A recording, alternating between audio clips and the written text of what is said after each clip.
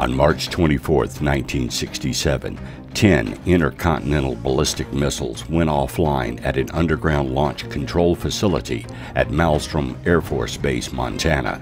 Robert Salas, a former United States Air Force captain who had been the nuclear missile crew commander at the time, was on site when the ICBMs became inoperable, coinciding with calls from security personnel above ground who said they observed an unidentified flying object hovering near the facility's gate. Just eight days earlier, a similar incident had occurred where several ICBMs went offline at another of Malmstrom's launch control facilities.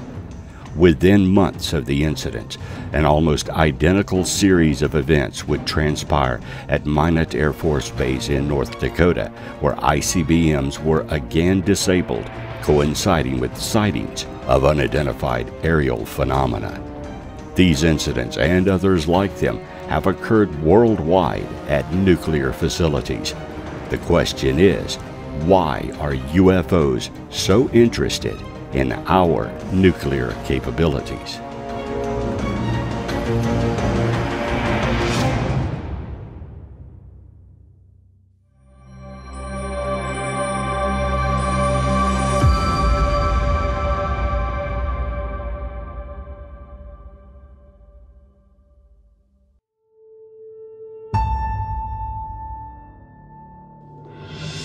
Throughout history, unexplained aerial phenomenon or UAPs have shocked, frightened, and fascinated skywatchers.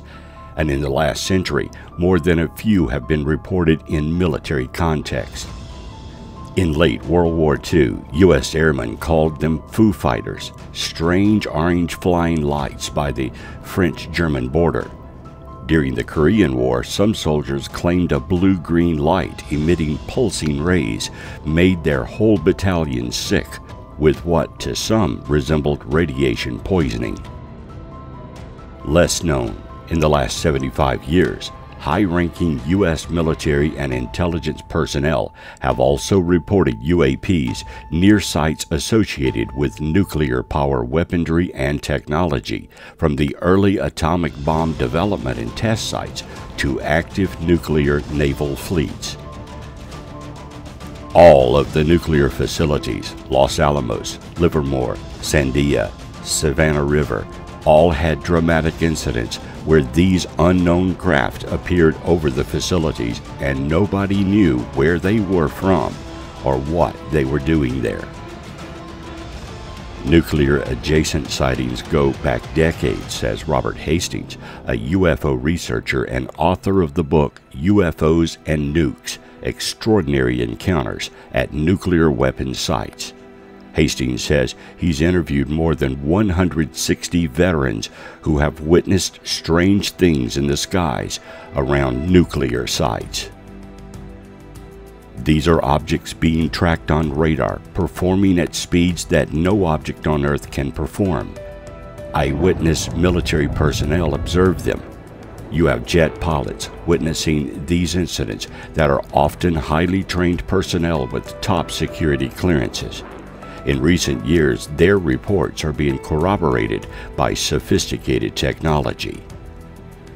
In late 1948, green fireballs were reported in the skies near atomic laboratories in Los Alamos and Sandia, New Mexico, where the atomic bomb was first developed and tested.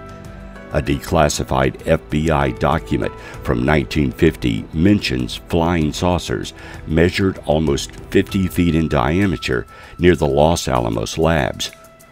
More than a dozen workers from the Nevada Desert Atomic Test Site, where scores of A bombs were detonated in the post World War II years, says UFO activity was so commonplace there, employees were assigned to monitor the activity. In the 1960s and 70s, repeated UFO sightings emerged at Malmstrom Air Force Base in Montana, a storage site for nuclear tipped intercontinental ballistic missiles.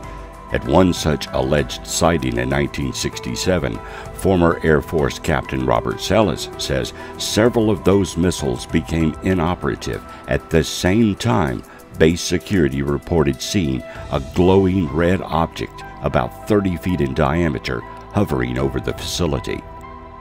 Salas, who commanded ICBMs as a launch officer and later worked in the aerospace industry and at the Federal Aviation Administration, confirmed the missiles began going into what's called a no go situation or unlaunchable. From the beginning of the atomic age, UFOs have had a vested interest in our use of this technology. Why? Could it be they are afraid of us? or afraid of what we may do with this new advancement.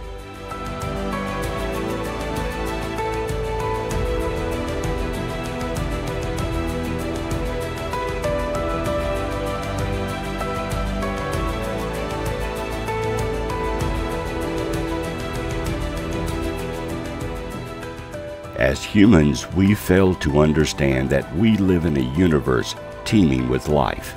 We are not alone and never have been. Life is abundant in our galaxy, and some of those life forms are technologically advanced species, just as we are. Therefore, what we do can affect them, and what they do can affect us. We have yet to realize that we live in a galactic population, and we must learn to live with other races, as well as with the race differences here on our own planet. This next step in our evolution will likely usher in a new awareness of our cosmic brothers, and perhaps if we learn from our mistakes, then we won't take our recklessness into the cosmos. This may be the very reason UFOs and UAPs have taken a vested interest in our world and those who inhabit it.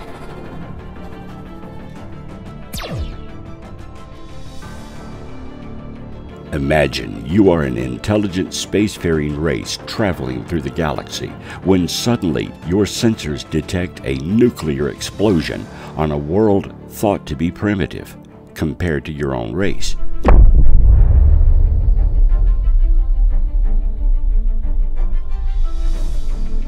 You would change course and investigate it, right? This appears to be what happened in 1947 when the first Trinity atomic bomb was detonated in New Mexico. UFOs began to be sighted within days. UFO reports came in at an increased speed, including a possible crash near Roswell. When we detonated our first atomic bomb, we got their attention. It is believed we were already being monitored well before the atomic age, with Foo Fighters sighted during World War II and even further back in antiquity. However, the first nuclear explosion seems to have brought us and our planet under more scrutiny. Nuclear weapons are incredibly dangerous and we still don't know the cosmic effects of splitting the atom. Our scientists theorize that this one detonation could have been felt across our solar system and beyond. Indeed, at the time, some scientists believed it could ignite the atmosphere and burn the surface of the Earth away, killing everyone. But we did it anyway, despite the warnings. To any alien observers of our world and our primitive race, this would have been a serious turning point. Our young and inexperienced race of humans were now playing with an advanced technology with no regard to its consequences and effects on the rest of the cosmos. A very worrisome issue for any extraterrestrial race monitoring our evolution and advancements over time. What would we do with this new knowledge? Use it to safely power our technology? Or, as we had just demonstrated, use it in warfare? Once we figured out how to split the atom, what was the very first way we used it? We built a bomb. Then we built more bombs and used them on our neighbors in Japan. Then we began an arms race with our neighbors, building more and more bombs and stockpiling them for future wars. nuclear missiles, ballistic missiles, low yield and high yield weapons, and we advanced our delivery systems so we could launch them from several sites, drop them from airplanes, and even shoot them off from nuclear powered submarines anywhere in the world, all with the intent of being the first to obliterate our enemies. To any alien race observing the Earth, this would be total madness, and yet we continue to do this today. Not only our nation, but several nations around the planet are currently stockpiling and creating new nuclear weapons for mass destruction.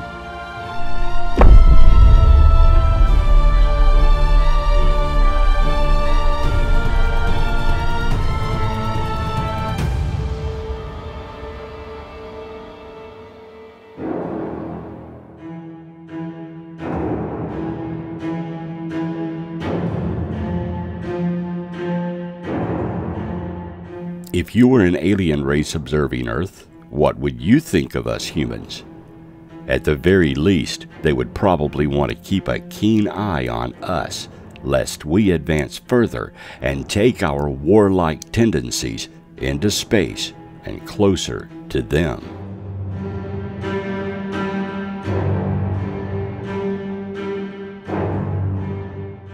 As we discovered by splitting the atom, Nuclear energy is a powerful and almost unlimited energy source. Since that first atom bomb, we have also created nuclear power plants and nuclear submarines, both of which seem to be of interest to UFOs and UAPs. It's likely any alien race might see this as a serious concern but it's also possible they may see this as a new and powerful resource for them. Once we entered the nuclear age, our advancements could signal a new location to tap into this energy source to power their craft or recharge on their way to another destination. UFOs and UAPs may be borrowing power from our infrastructure in order to replenish their energy needs. They may be happy we made this technological advancement because they can use the energy source as well. UFOs are often seen near nuclear power stations as well as nuclear bases and weapons platforms. They're also detected near nuclear powered submarines in the ocean. An unidentified flying object was located near a nuclear power plant close to Russia's second city of St. Petersburg, according to new reports in 2023. An alert signal was sounded around the Leningrad nuclear power plant in the Russian town of Sosnovy Bor. Local and state media reported this. The object was moving at around 200 kilometers per hour, that's 124 miles per hour, at an altitude of approximately 33,000 feet, Russian sources reported. The alert triggered a special response status. A military officer told a Russian online newspaper, Reserve Colonel Andro Koshkin then suggested to state media there was nothing unusual here this is a regular situation, indicating this happens often in Russia. Russian authorities temporarily closed the airspace above St. Petersburg after confirmed reports of an unidentified object circulating. All flights were briefly suspended from the city's main airport. An unidentified aerial object was also reported in the skies above Russia's Rostov Oblast in early January, according to local officials. The area's regional governor said authorities had made the decision to liquidate it. Air defense systems were alerted to a small object in the form of a ball flying at an altitude of one and a half miles. It was located near the village of Sultan-Sala and was flying freely in the wind, he added. The sky is covered by anti aircraft defenses, he wrote. urging members of the local community to remain calm. To ensure security, all forces and means are involved. Several sightings of unidentified objects have been reported since the beginning of 2023, including several in North American airspace.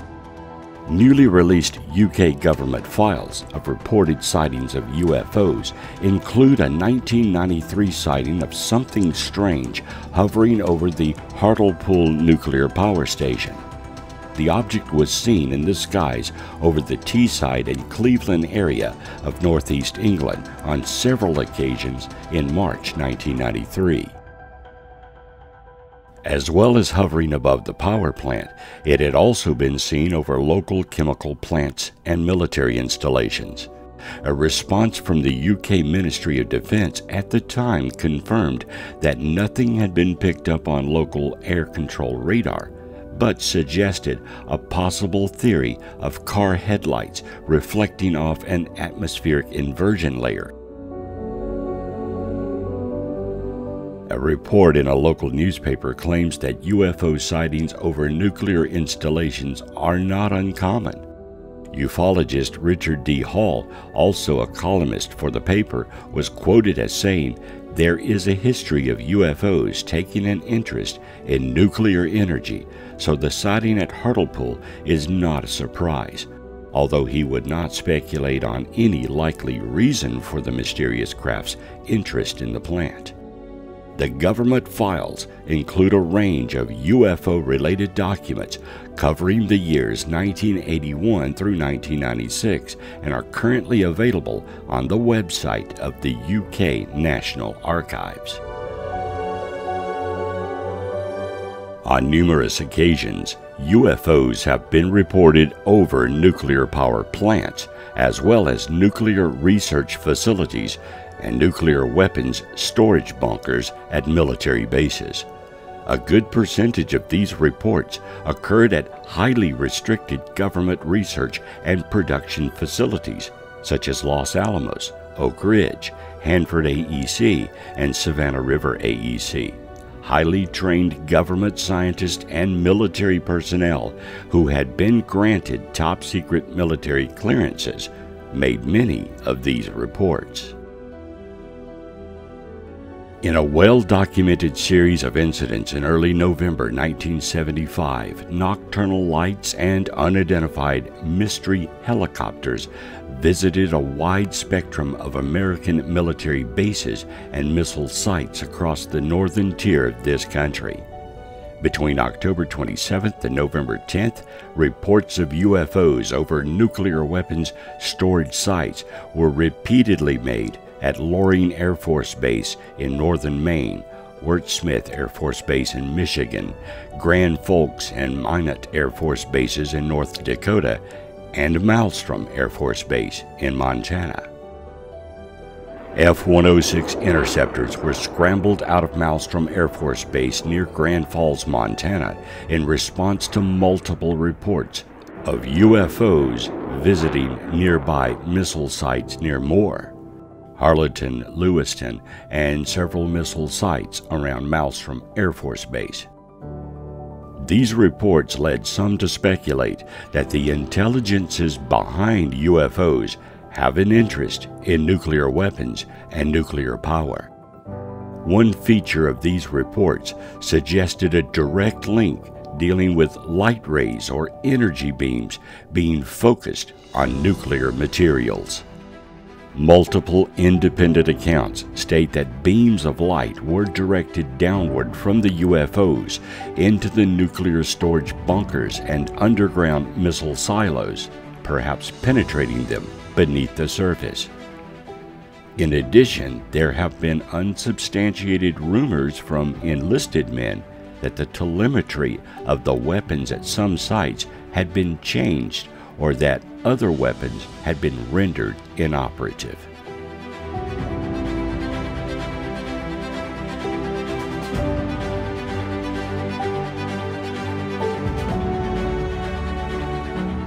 Some researchers have suggested that the occupants of UFOs have a deep concern about the safety of nuclear power and our proliferation of nuclear weapons, and are therefore keeping a close scrutiny on these sites.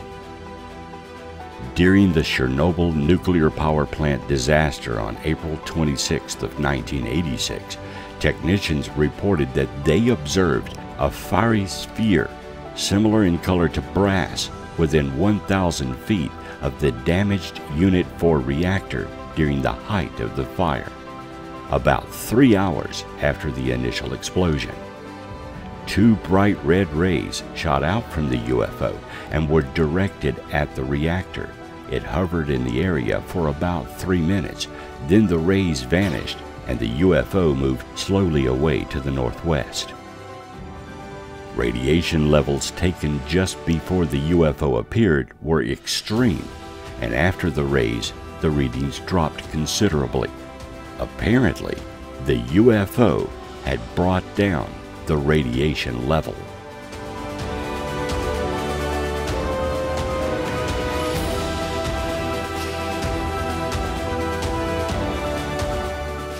For United States counties with populations between 50,000 and 101,000, the rate of UFO reports peaks at 37.3 per 100,000 people for these counties with nuclear facilities, and this rate is 2.61 times higher than for similar counties without nuclear facilities.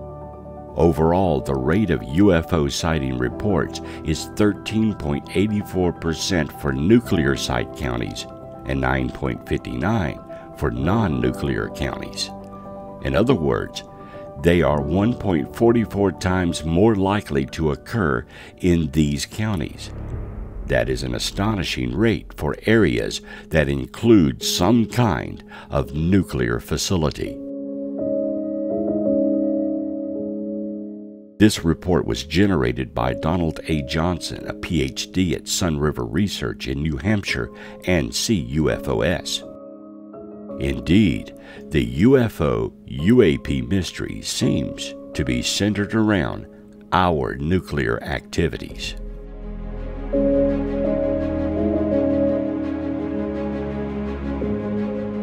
Stephen Bassett, the founder of Paradigm Research Group, who has been trying for years to persuade the U.S. government to investigate the disclosure of the truth about extraterrestrials and UFOs. Bassett claimed that aliens neutralized human nuclear weapons to demonstrate how useless they are against their advanced technology. When asked what motivates aliens to silence our nuclear weapons, Bassett argued that several eyewitnesses have observed aliens easily controlling our nuclear arsenal and added that it is not intended to threaten us, but merely to convey a message that these things are futile. He stated in an interview with the Daily Star, they keep turning off our nuclear weapons time and time again, but it doesn't mean they're evil the eyewitnesses who have witnessed this believe that it's not an act of hostility, but rather to convey that these things are useless against them, and it only contributes to humanity's killing each other. So why not get rid of it? That's their interpretation.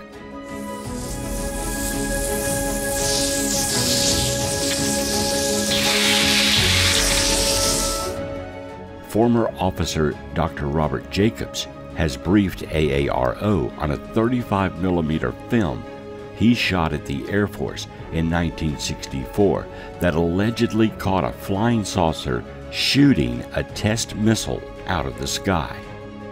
Jacobs, a former Air Force officer who testified to AARO, was in charge of a telescopic camera team that filmed test missile launches at Vandenberg Air Force Base in California in the 1960s. He claims he reviewed footage of a September 15, 1964 launch where a disc flew up to the moving missile, shot a series of beams at it, and sped away, causing the dummy warhead to topple out of the sky. Jacob said he was told to keep quiet about the footage by his boss, Major Florenz J. Mansmann, who viewed it with him in a meeting with two CIA officers in the days after the incident. Mansmann, who died in 2000, confirmed the account in a May 1987 letter to UFO researcher Scott Crane and said he watched the video four times before the CIA officers shipped it to an undisclosed location on the East Coast. It seems by 1965 the UFOs were becoming very interested in our nuclear facilities. In October of 1965, Philip Parker, on an aerial photography mission, was flying with pilot H.T. Mayhew near the Perth Church Road Lake Norman crossing. Their plane was flying at about 1,000 feet as they circled the lake near the McGuire Nuclear Station when they noticed three bright objects to their right. Pilot Mayhew gave his plane full throttle and they rose barely high enough to escape the UFOs, which were flying in formation 100 feet below them. Unnerved as he was, Parker was able to take one photograph of the three circular UFOs above Lake Norman, which is bordered by the Catawba Lincoln, Gaston Mecklenburg, and Iredell counties in North Carolina. Retired Air Force Captain David Schindele gave a detailed account of the unidentified aerial phenomenon encounter at a facility in the Minot missile field in the 1960s. He related the account when giving testimony at a press conference at the National Press Club in Washington, D.C. In September of 1966, a Minuteman ICBM launch control officer and deputy commander of a launch crew stationed at Minot Air Force Base, North Dakota, was involved in a UFO incident where a flying object tampered with and took down a total of 10 nuclear tipped ICBM missiles by rendering them unlaunchable. It all began early one morning when they were having breakfast and listening to a television newscast by a TV station in the town of Minot. The newscaster announced that residents of Mohall, North Dakota saw strange lights west of town that night, which were attributed to a UFO. This caught their attention because they were scheduled to relieve and replace the current Minuteman ICBM launch crew at November Flight Launch Control Center, which was three miles west of town. During the pre departure crew briefing on base that morning, where 15 two man officer crews would meet each morning prior to going into their assigned launch control centers, they were told that a few missiles at November flight had gone off alert, but nothing more was said about this. After that briefing, several missile crews mentioned about what they heard on the news that morning and the crew commander also acknowledged that he had heard the news. When the crew commander said he arrived at November Flight Launch Control Facility, the commander debriefed a tech sergeant who described what he and others had seen that night. He described a large object just outside the perimeter fence with bright flashing lights, but without noise, and it hovered close to the ground. He estimated the object to be 80 to 100 feet wide. After many minutes passed, the object then glided to the north end of the building and out of sight, but it then became visible to security guards in the security control section of the building. With security and other personnel viewing the object through security control windows, and with the security personnel preferring to remain in the building, it was just a short period of time before the object abruptly took flight and it disappeared within a second. There were eight people topside within the building who saw this object, and it included six security personnel, a facility cook, and the site manager. They all confirmed it was a terrifying experience to behold. They knew the object was not a helicopter, and base choppers normally did not fly at night, especially without notice to the facility. The commander and I entered the elevator next to the security center, which lowered us 60 feet below ground to where the hardened Launch Control Center capsule was located. Two officers inside the silos indicated the missiles were all off alert and unlaunchable. The on duty crew told us that the missiles went down when the flying object was hovering next to the main gate and above the underground capsule. The crew was communicating with the head security guard topside during the entire time of the incident. The commander was told by OSI that we were to forever keep our lips zipped about the incident, and he was told that as far as you are concerned, it never happened. We were even instructed to never talk to each other again about the incident.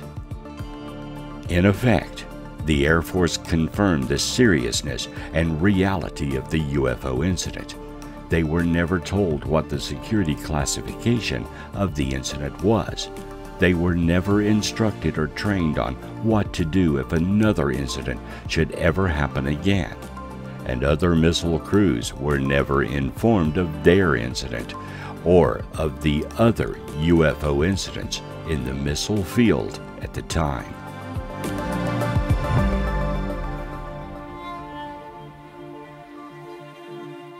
This is how the military in the 1960s handled UFO and UAP reports. The information was sent up the chain of command but all officers were instructed not to talk about it. This secrecy has hindered the ability for researchers to study and quantify the phenomenon. Though the subject was discussed at high levels and taken very seriously, lower levels within the military were in the dark as to what was going on. As a result, much information was lost and the ability to track the phenomenon was almost non existent. If it were not for a handful of whistleblowers, we may have never known about the severity and scrutiny of UFOs and UAPs on our military facilities. Robert Salas's UFO story began on night shift working in a top secret facility monitoring nuclear warheads. Salas, a young Air Force First Lieutenant, was on duty deep underground on March the 14th of 1967 at Montana's Malmstrom Air Force Base when he received a phone call from the flight security controller working topside. The non-commissioned officer reported some unusual lights making strange maneuvers in the sky. It was non-threatening, but notable. Only minutes later, the controller called back. This time, his tone was frantic over the phone. He screamed about a large glowing red object hovering over the facility's front gate, and his men were ready with weapons drawn to confront whatever it was. According to an affidavit he signed later, Salas ordered the controller to not let anything get past the gate. After that, Salas woke his commanding officer, First Lieutenant Frederick Meiwald. As Salas recounted the unfolding situation, alarms flashed red on the command console, indicating that all 10 Minuteman III nuclear ICBMs under the facility's control were unable to launch. Someone or something had disabled the missiles. Some lights indicated a fault code for guidance and system failure, and some of the fault lights also had the attached security violation indicators blinking brightly. It meant a security breach at the launch site. Salas quickly dispatched a team to investigate. The team reported that personnel at the launch site had witnessed the same unexplained object, but it was already long gone. Just as quickly as it began, the event was over. The Air Force Office of Special Investigations later told Salas not to speak about his experience again and classified the incident at the secret level. Salas signed a 2010 affidavit regarding his 1967 incident, hoping the move would help other veterans come forward with their own accounts of unexplained activity. Salas, undeterred by Washington's previous dismissals, continues his efforts to compel government officials to take veterans' UFO experiences seriously. He also warns that UFO sightings tend to occur at nuclear weapons sites.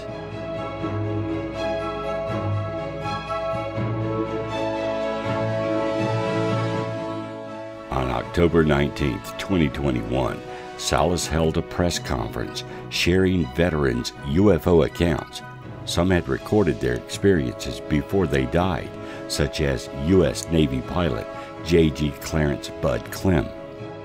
Clem had recorded his account of a January 1945 incident that he witnessed over the Hanford site in Washington state.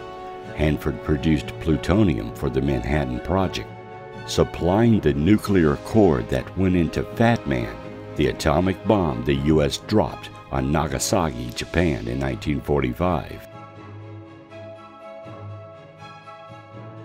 Clem and his two wingmen saw on the ground radar that an unknown aircraft had entered the area near the plutonium facility. The two other pilots jumped into their Grumman F 6F Hellcat fighter aircraft. As their 2,200 horsepower engine sputtered the propellers to life, Clem went to the radar tower to relay the readings over the radio while the pilots followed the unidentified bogey. The glowing fireball shot off too fast for the pilots to follow.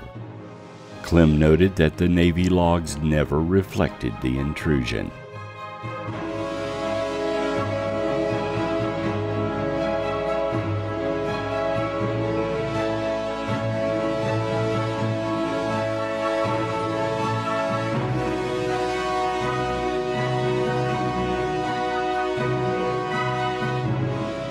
Of all the three initialed agencies in the government, the CIA has been involved in UFO and UAP studies throughout the 50s, 60s, until today. Because of the tense Cold War situation and increased Soviet capabilities, a CIA study group saw serious national security concerns in the flying saucer situation. The group believed that the Soviets could use UFO reports to touch off mass hysteria and panic in the United States. The group also believed that the Soviets might use UFO sightings to overload the U.S. air warning system so that it could not distinguish real targets from phantom UFOs. H. Marshall Chadwell, Assistant Director of OSI, considered the problem of such importance that it should be brought to the attention of the National Security Council in order that a community wide coordinated effort towards its solution may be initiated. On the 4th of December 1952, the Intelligence Advisory Committee took up the issue of UFOs.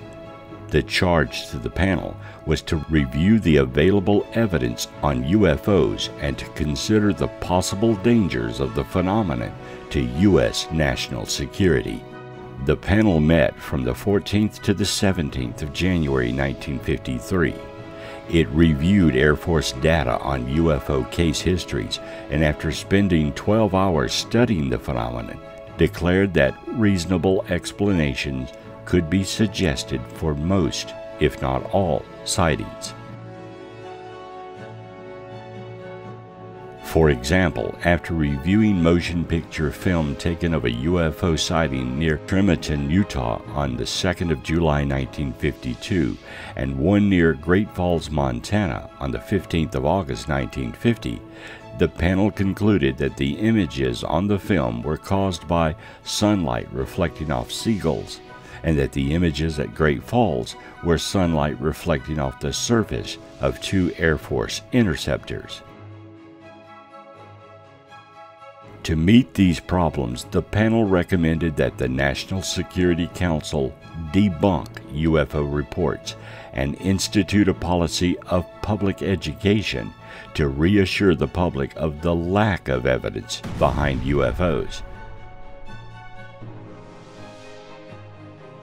It suggested using the mass media, advertising, business clubs, schools, and even the Disney Corporation to get the message across. Reporting at the height of McCarthyism, the panel also recommended that such private UFO groups as the Civilian Flying Saucer Investigators in Los Angeles and the Aerial Phenomenon Research Organization in Wisconsin be monitored for subversive activities. During the late 1970s and 1980s, the agency continued its low key interest in UFOs and UFO sightings, while most scientists now dismiss flying saucer reports as a quaint part of the 1950s and 1960s. Some in the agency and in the intelligence community shifted their interest to studying parapsychology and psychic phenomena associated with UFO sightings. CIA officials also looked at the UFO problem to determine what UFO sightings might tell them about Soviet progress in rockets and missiles and reviewed its counterintelligence aspects. Agency analysts from the Life Science Division of OSI and OSWR officially denoted a small amount of their time to issues related to UFOs. These included counterintelligence concerns that the Soviets and the KGB were using U.S. citizens and UFO groups to obtain information on sensitive U.S. weapons development programs, such as the stealth aircraft.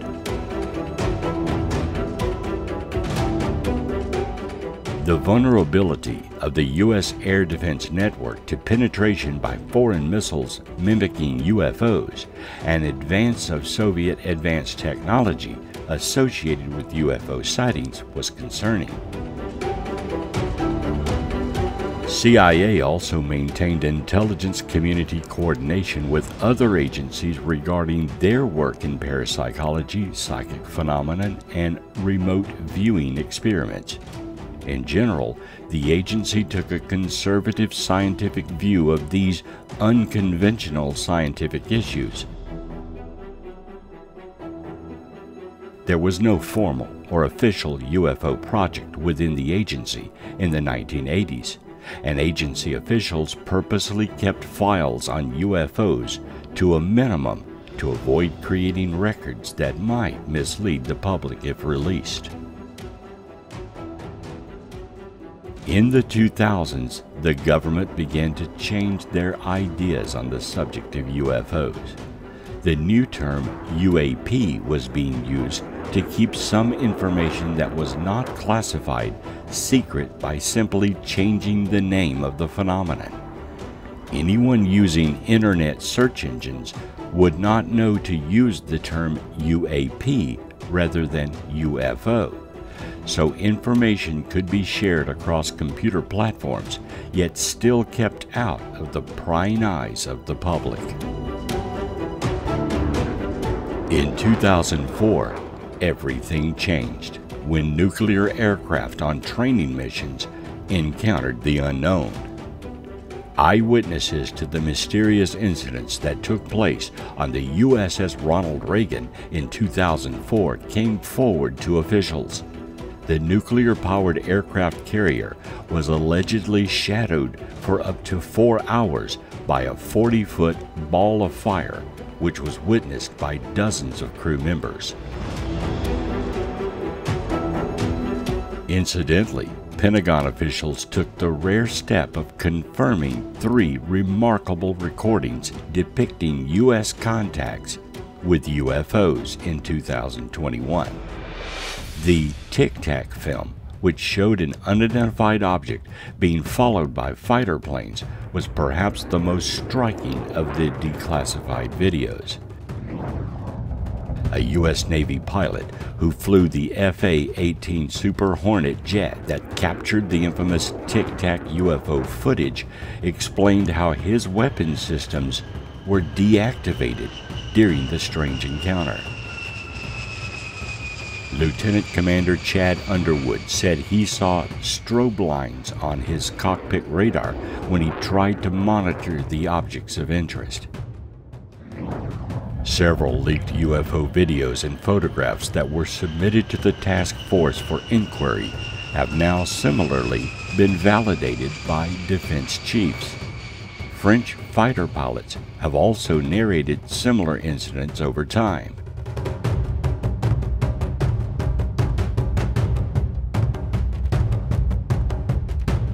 In another incident of an eyewitness account, a former U.S. Homeland Security official recently spoke out about the weird things he witnessed while working on a Mexican American border, including what he believes were UFOs. According to the debrief, newly disclosed footage and testimony from a former Customs and Border Patrol agent indicated repeated encounters with aerial objects that maneuvered far beyond the capabilities of a conventional aircraft. This makes one thing very clear. The UFO incidents that have been overwhelmingly reported by several media channels are not isolated events and are just a few of the many that have been witnessed by sensors and humans alike.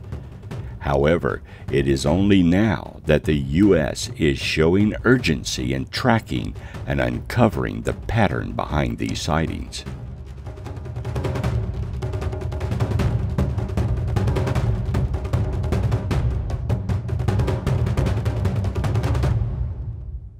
The United States also earlier verified the existence of the Advanced Aerospace Threat Identification Program, or ATIP, a Pentagon UFO research program that was terminated in 2017 after a decision by the U.S. Senate Intelligence Committee in June of 2020, and it was replaced by the UAP Task Force Several leaked UFO videos and photographs that were submitted to the task force for inquiry have now been validated by defense chiefs. The many latest entries recorded do not have sensor data and are just stories from people coming forward with older stories that they could not reveal at the time. Now, the U.S. Navy is drafting new guidelines for pilots and other personnel to report encounters with unidentified aircraft, a significant new step in creating a formal process to collect and analyze the unexpected sightings and destigmatize them. The Navy has stated a number of reports of unauthorized and or unidentified aircraft entering various military controlled ranges and designated airspace has occurred in recent years.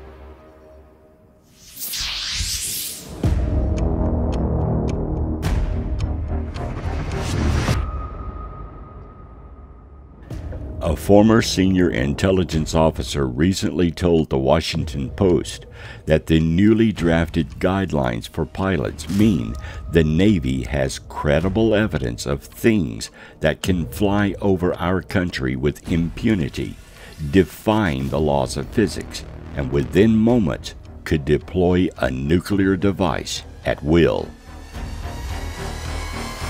In addition to unauthorized and unidentified aircraft, the Pentagon refers to such sightings as unexplained aerial phenomenon or suspected incursions.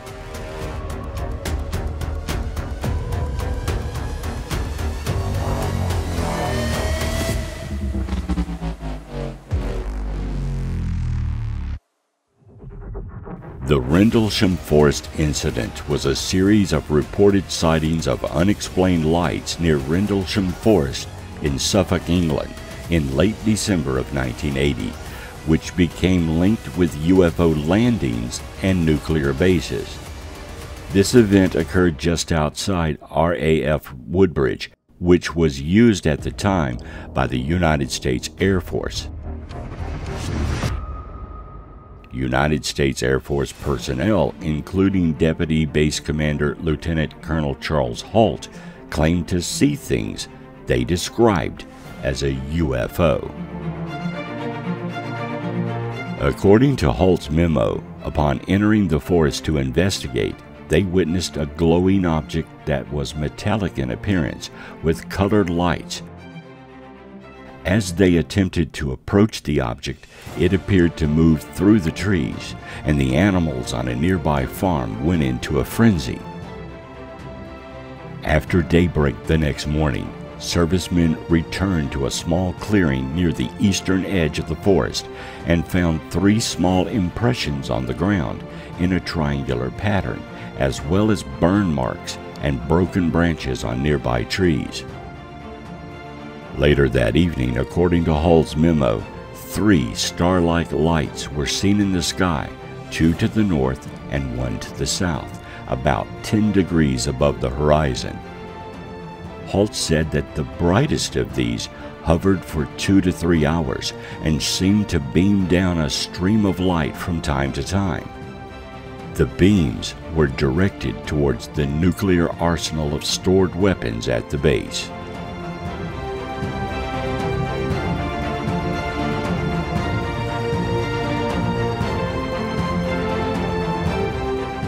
A similar attraction of UFOs toward nuclear bases was noticed in Canada as well.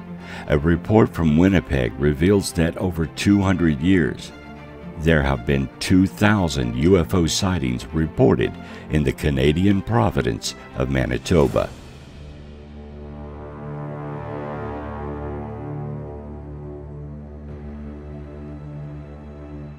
In the mid 1970s, there were numerous UFO sightings all along the U.S. Canadian border, with Manitoba being one of the places where a large number of sightings occurred.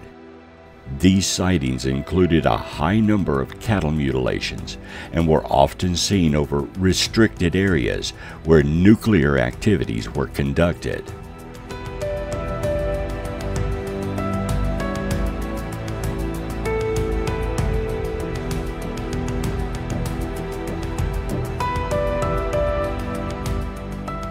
Chris A. Rutkowski, a Canadian UFO researcher, has studied UFO sightings in Canada for over 25 years and concluded that Manitoba has a large history of close encounters with aliens. His UFO research, which contains 30,000 reports, has been donated to the University of Manitoba. In 2017, author Grant Cameron published a book entitled Charlie Red Star True Reports of One of North America's Biggest UFO Sightings, in which he described in detail the largest UFO sighting in history witnessed by Manitobians. The Providence was stunned by the object known as Charlie's Red Star, which had been seen almost every night in 1975.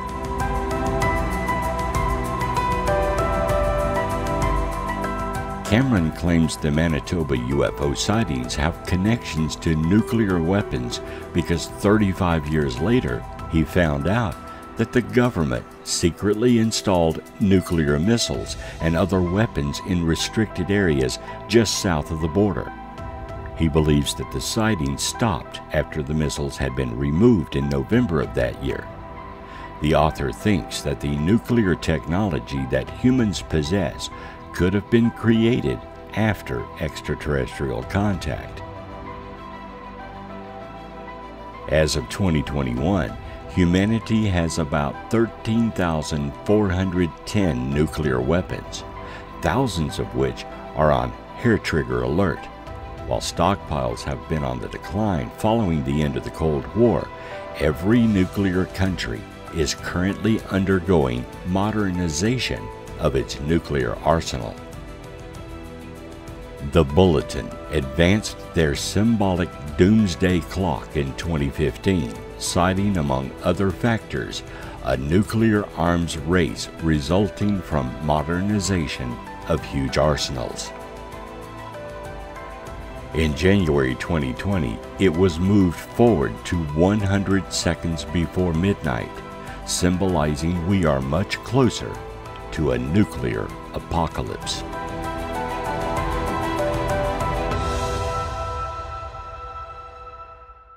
If UAPs and UFOs have the ability to render our nuclear missiles and power stations inactive, this would be a serious concern for not only our government, but every nuclear capable nation on Earth. It may be that the aliens who control UAPs, if that is the case, do not want us using these weapons and are showing us they can stop a nuclear war before it even begins.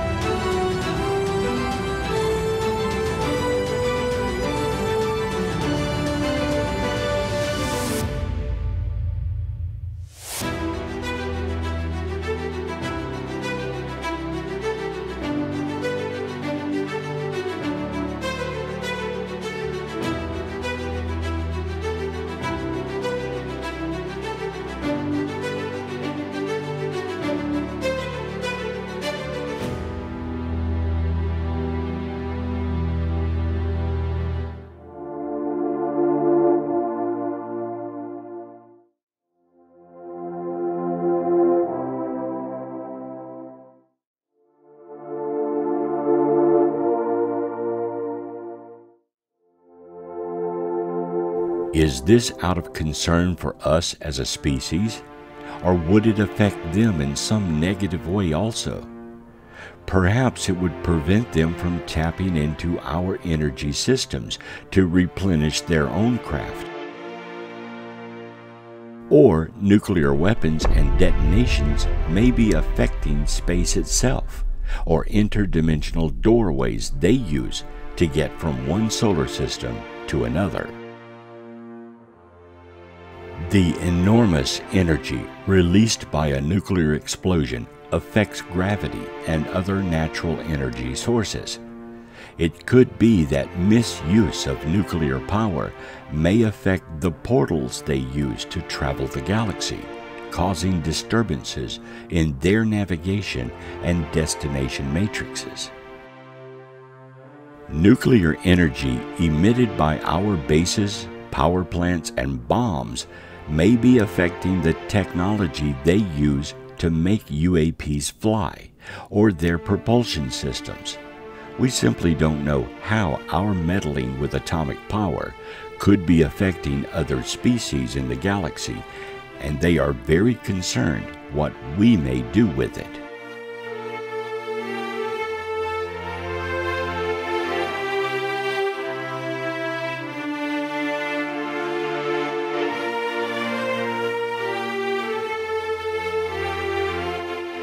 If we continue to abuse the technologies we have discovered and created, the time may come when they have no choice but to intervene.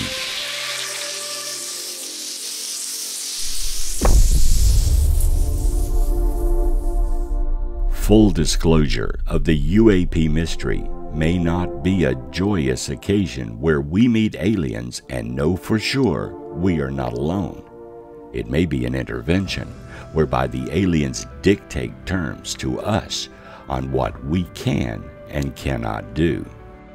In any case, they are watching and scrutinizing the moves and advancements we make, as well as how we use and deploy nuclear capabilities. Perhaps one day we will live in harmony with our alien brothers. However, we must learn to live with ourselves first and stop creating destructive weapons whose sole purpose is annihilation.